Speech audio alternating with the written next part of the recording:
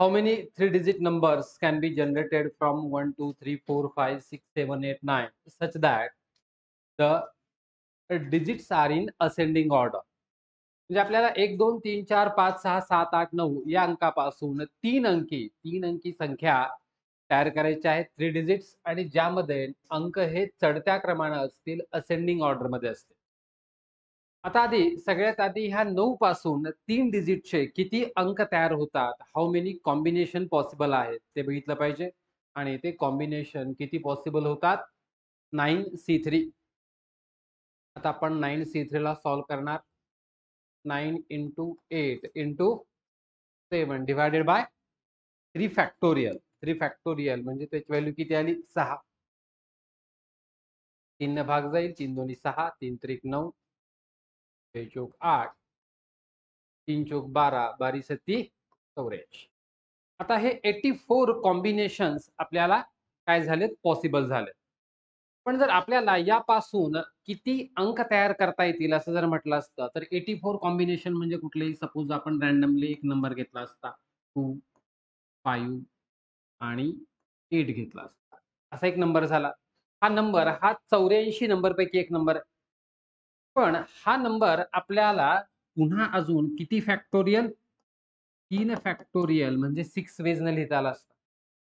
म्हणजे total number किती form झाले असते असं जर विचारलं असतं तर आपला आन्सर आला असतं एटी फोर इंटू सिक्स एवढे टोटल तीन अंकी संख्या तयार झाल्या असत्या पण इथं आपल्याला काय म्हटलंय की असेंडिंग ऑर्डर चढत्या क्रमानं म्हणजे यापासून जरी सहा अंक तयार झाले तरी चढत्या क्रमानं असलेली संख्या किती मिळणार आहे? एकच. टू फाईव्ह एट बाकी कसे असणार आहेत? टू एटी फाईव्ह आहे की नाही? हा म्हणजे दोन दोन नंतरचा पाच मोठा आणि पाच नंतर आठ मोठा म्हणजे एकच भेटणार आहे. म्हणजे असे चौऱ्याऐंशी कॉम्बिनेशनला आपल्याला किती नंबर्स भेटतील? एटी फोर नंबर भेटतील. त्यामुळे आपला आन्सर एटी फोर जर असेंडिंग ऑर्डरमध्ये हा जर शब्दप्रयोग नसता तर आपलं answer eighty four into six हे आलं असतं. असीम आणि रहीम हे दोन खेळाडू कधीच एकत्र नसतील. अशा प्रकारे एका रांगेत सहा खेळाडूंची किती वेगवेगळ्या प्रकारे रचना करता येईल. आपण काय करणार की जे सहा खेळाडू आहेत एक दोन तीन चार पाच सहा.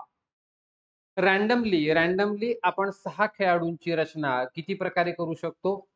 Six factorial ways.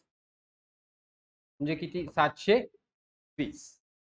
पण आता आपल्याला काय पाहिजे? असीम आणि रहीम हे दोन खेळाडू कधीच एकत्र नको आहे आता एकत्र नको आहेत पण आपण एकत्र असणारी कंडिशन काढून घेणार. म्हणजे ह्या दोन ठिकाणी हे असीम आणि रहीम एकत्र आहेत. आता हे एकत्र झाले म्हणजे एक दोन तीन चार झाले. आता एक दोन तीन चार आणि पाच प्लेसेस झाल्या म्हणजे पाच फॅक्टोरियल पाच फॅक्टोरियल हे किती झालं? एकशे वीस. आणि असीम आणि रहीम पुन्हा हे दोघ जण काय होतील? आणखीन दोन फॅक्टोरियल वे मध्ये पुन्हा त्यांची रचना होईल. टू फॅक्टोरियल वेज झाले टू म्हणजे टोटल एकशे वीस गुणिले दोन दोनशे चाळीस. म्हणजे दोनशे चाळीस अशा अरेंजमेंट असतील की ज्याच्यामध्ये असीम आणि रहीम हे दोघही एकत्र असतील. असतील म्हणतोय. किती पैकी एकत्र असतील सांगा? सातशे वीस पैकी आपल्याला दोनशे चाळीस अरेंजमेंट भेटतील ज्याच्यामध्ये Asim and Rahim are always together आपल्याला नेवर टुगेदर विचारलं. मग आता नेवर टुगेदर म्हणजे आपण काय करणार? तर सातशे वीस मधून आपण दोनशे चाळीस हे काय करणार? मायनस करणार. आपलं आन्सर किती आलं? चारशे ऐंशी फोर एटी फोर एटी त्याच्यामध्ये असीम आणि रहीम हे एकत्र नसतील.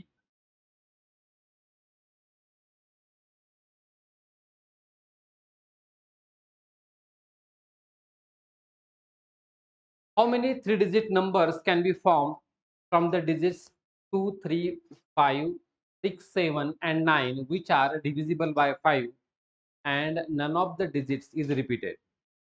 आता इथे आपल्याला पाच न डिव्हिजिबल पाहिजे आणि किती डिजिट पाहिजे सांग आपल्याला तीन डिजिट पाहिजेत आता थ्री डिजिट म्हणजे एक आला आपला पहिला शतक हंड्रेड प्लस दुसरा आला दशक टेन्स प्लस आणि नंतरचा आला एकक युनिट प्लेस किंवा वन्स प्लेस. आता मला पाच न डिव्हिजिबल पाहिजे. पाच न डिव्हिजिबल कधी असेल आयदर झिरो ऑर फाईव्ह. पण पाच न डिव्हिजिबल असणारा एकच नंबर आहे. कुठला पाच? म्हणजे युनिट प्लेसला मला नंबर ऑफ ऑप्शन्स अवेलेबल एकच आहे. कुठला अंक ठेवू शकतो मी? पाच.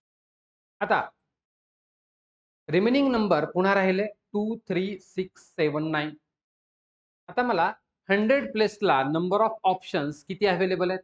पाच. आयदर टू ठेवू शकतो थ्री सिक्स सेवन किंवा नाईन ठेवू शकतो पाच. आता ह्या पाच पैकी कोणताही एक नंबर इथं प्लेस होणार? म्हणजे मला टेन्थसाठी नंबर ऑफ ऑप्शन्स किती अवेलेबल राहतील? चार. एक्झॅक्टली आपलं आन्सर म्हणजे यांचं मल्टिप्लिकेशन पाच. ट्वेंटी नंबर्स आहे.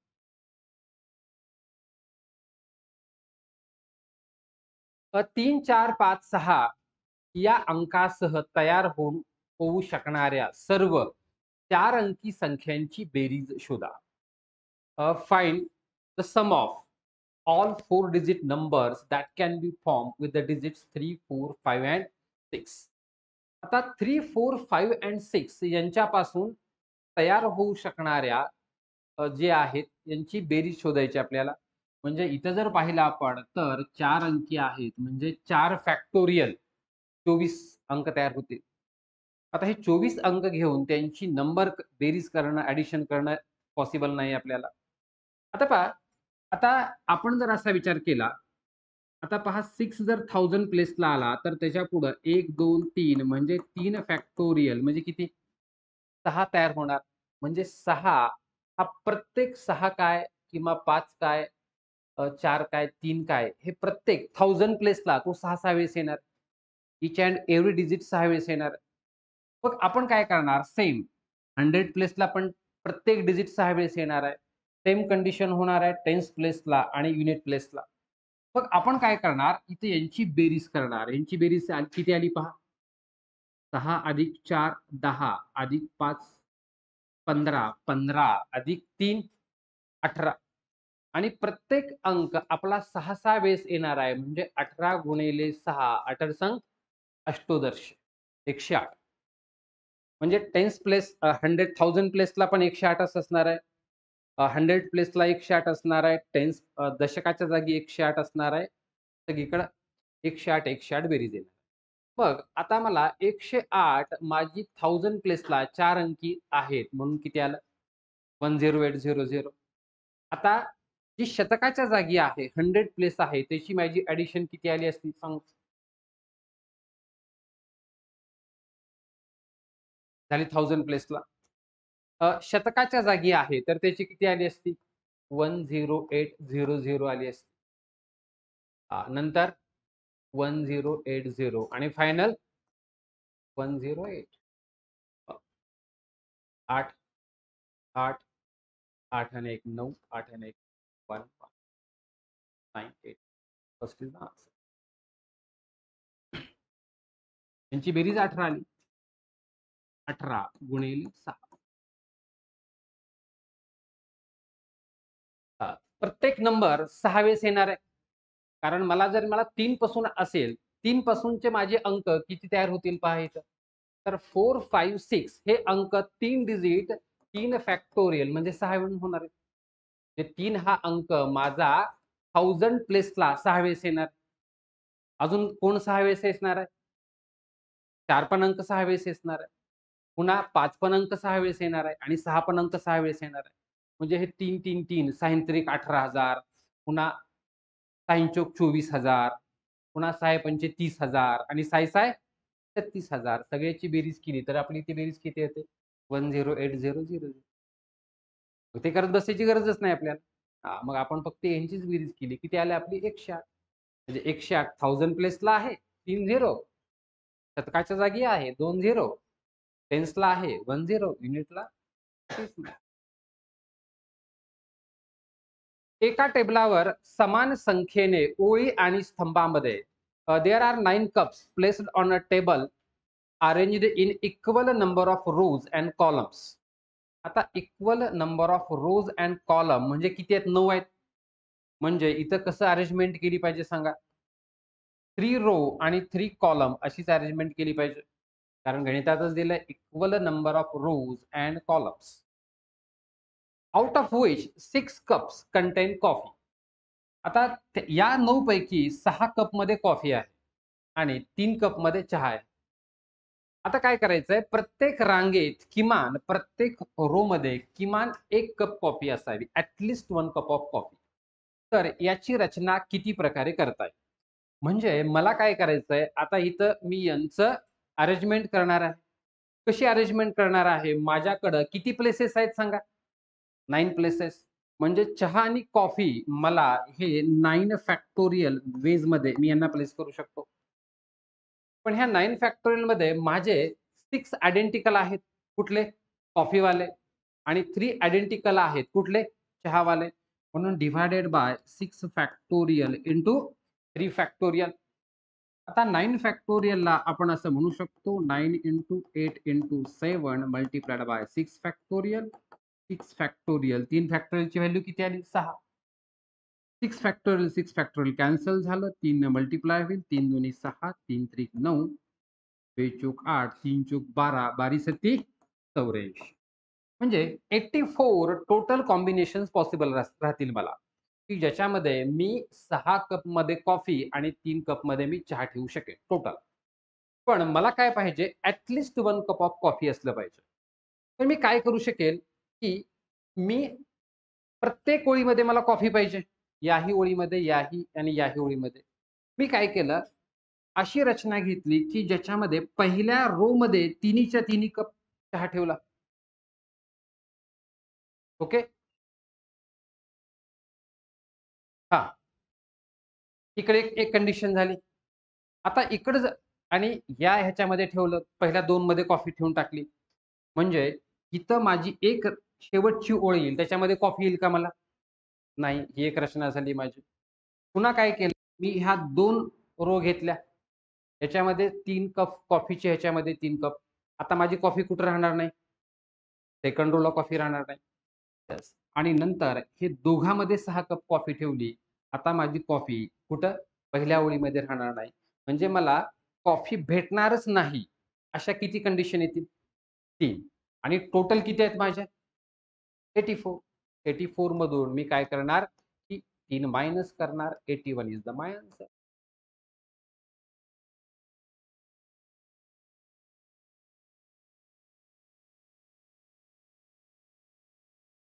झालं मला सहा कप कॉफी ठेवायची मी वरच्या दोघात ठेवलं तर एक खालची एक एक पोझिशन व्हॅकंट जाते. म्हणजे त्याच्यात कॉफी येतच नाही. ह्या दोघात सहा कप ठेवलं तर वरची व्हॅकंट आहे. वर दोघात ठेवलं तर मधली रो राहते. म्हणजे तीनच कंडिशन भेटतील की ज्याच्यामध्ये प्रत्येक रांगेत कॉफी येणार नाही. किती पैकी चौऱ्याऐंशी पैकी चौऱ्याऐंशी पैकी तीन ह्याच्यामध्ये कॉफी येणार नाही. म्हणजे उरलेल्यामध्ये ऍटलिस्ट एक तरी कप कॉफी असणार आहे. असिस्टंट मधून यादृच्छिक पद्धतीनं एक अक्षर निवडलं. Letter is taken out at a random from assistant and another is taken out from statistics the probability that they are same letter ही म्हणजे त्या असिस्टंट मधून मी एक रॅन्डमली एक अल्फाबेट कुठलंही उचललं आणि स्टॅटिस्टिक्स मधून एक अल्फाबेट रॅन्डमली उचललं तर ते दोन्ही लेटर सेम असण्याची प्रोबॅबिलिटी किती आहे? आता असिस्टंटमध्ये आता कॉमन कॉमन फक्त लेटर्स बघणार आपण. तरच प्रॉबिलिटी येईल ना? कॉमन लेटर कोण कोण आहे सांगा बरं? ए आहे अजून? यस आहे पुन्हा? आय आणि टी. ओके. ए आहे यस आहे आय आणि टी. आता फक्त काय करायचं? फार सिंपल आहे हे. आय आहे ना. स्टॅटिस्टिक्समध्ये पण आय आहे आणि त्याच्यामध्ये असिस्टंट आय आहे कॉमन आहे चार लेटर कॉमन आहेत. आता आपण पाहणार की ए अल्फाबेट ए अल्फाबेट असिस्टंटमध्ये टोटल अल्फाबेट किती आहेत? एक दोन तीन चार पाच सहा सात आठ नऊ आहे आणि स्टॅटिस्टिक्समध्ये किती आहेत? दहा. आता ए अल्फाबेट असिस्टंटमध्ये किती आहेत सांगा? किती आहेत? दोन आहेत. असिस्टंटमध्ये किती आहेत? Two out of nine and हा. आणि स्टॅटिस्टिक्समध्ये ए अल्फाबेट ए किती वेळ आहे? एकदाच वन बाय टेन ऑर आता अल्फ़ाबेट आपलं कुठलं असू शकतं? ए असू शकतं. ऑर. एस असू शकतं. ऑर. आय असू शकतं. ऑर. असू शकतं. ऑर म्हटलं की ऍडिशन प्लस आता यस अल्फ़ाबेट यस अल्फ़ाबेट आहे सांगा थ्री बाय नाईन. इंटू. हा. स्टॅटिस्टिक्स मध्ये yes alphabet. Three by ten. Plus I. I alphabets असिस्टंटमध्ये one one by nine. आणि आय अल्फाबेट स्टॅटिस्टिक्समध्ये टू बाय टेन. आणि टी अल्फाबेट असिस्टंटमध्ये two by nine. आणि स्टॅटिस्टिक्समध्ये थ्री बाय टेन. आता आपण यांची बेरीज करणार. Two by ninety plus nine by ninety plus two by ninety plus by ninety म्हणजे इथं नव्वद तर सेम झालं. आपण यांची बेरीज करणार. किती आली? सहा दहा एकोणीस. एकोणीस बाय नाईन्टीन